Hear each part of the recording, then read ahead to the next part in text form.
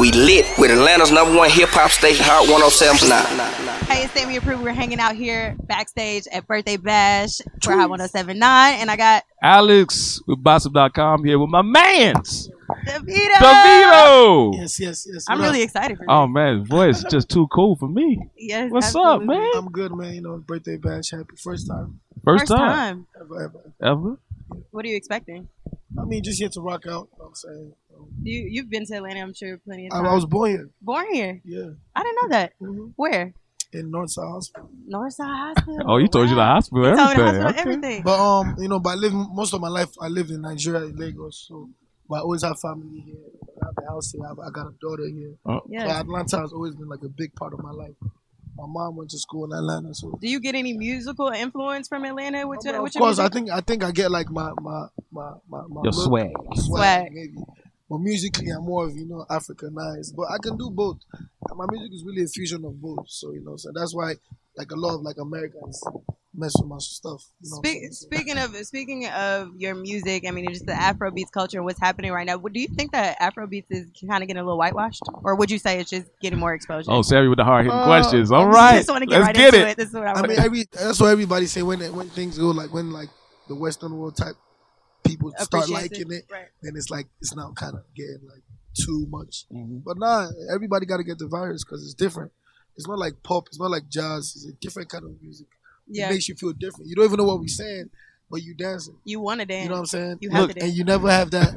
you never have that feeling with any other type of genre. You know that as the truth. Even Ah. like name any music that if you don't understand what they're saying, but you still love it. Atlanta music. Yeah, I was about to You don't know what they say. saying? I do because I'm from here, but most people say they I was gonna say what we Afrobeat, but I didn't want to. This is what we're talking I didn't want to offend anybody in the building. But yeah, but you know, I'm distracted right now with all of this. I Man, what was your first big purchase when you got that first check? What did you buy? What did I've you been do? making big A purchases. house. A You bought a house?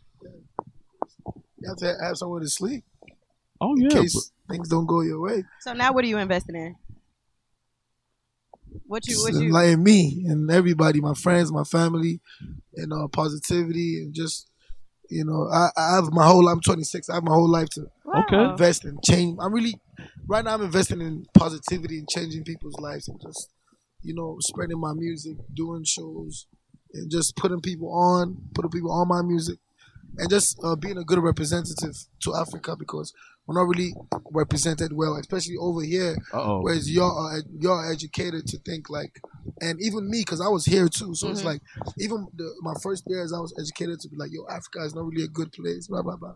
Wow. But me living there, and I'm happy that a lot of artists have come to Uh-huh. Nigeria and experienced, like even the Migos, Lil Baby, countless Casanova, they came, and even when Lil Baby came, he was like, damn, like, This is how it is. like I didn't even know, like the whole time we Yeah. thinking it's huts and giraffes or whatever stereotypes. Oh come on. You know what I'm saying? No, I'm happy Yeah. that we're able to think see about that though. so I'm, I'm happy that like with me and other artists and with the, with the clothes, with Wakanda movies like that, you know, so people appreciate it more.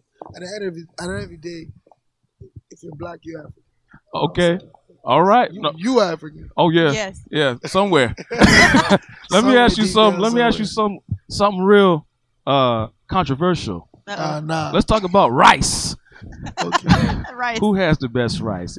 Would you say Jollof? Would you say Nigerian or would you say Ghanaian Jollof? I'm on a is- diet right now. I'm not even eating oh rice. come on, man. Not a diet, I'm not even eating rice right now. But, but if you um, had to choose, of course, we're Nigerian. Oh man, of, of but course. there's some things I like from Ghana, which like Nigerians also make. Like I prefer Ghana fufu than Nigerian fufu. But I prefer Nigerian jollof than Ghana. Uh, thank okay. you. Oh, Thank and that. one more thing. Yeah. While I got you here in your zone, the women, Atlanta or Nigeria? Ooh. I got one woman. I'm not even looking at her. Oh, Oh, okay. okay, All right. Well, period. I'm sorry. But Uh, but if I was to say, Oh.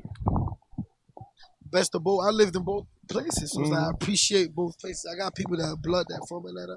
I got people that have blood that have from Nigeria. My daughter's Atlanta and Nigeria, so Mm-hmm. I gotta appreciate the boy. I can't really pick, but because I think I have to, I'll pick Nigeria. Wow. Man, you Well, as Okay. an Atlanta, Georgia Peach, you know, I'm not offended at all because you did show us love. I thank you so much for sitting down with us, Davido. Thank you, thank you. Thank you, God yes. man, man, we appreciate you, man.